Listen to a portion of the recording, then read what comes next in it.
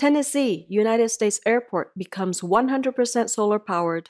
The Chattanooga Metropolitan Airport in Tennessee recently completed a 10 million US dollar microgrid project and now proudly gets 100% of its energy from the sun. Its 2.64 megawatt solar farm can generate sufficient electricity to power about 160,000 light bulbs and includes battery storage that enables it to operate off grid.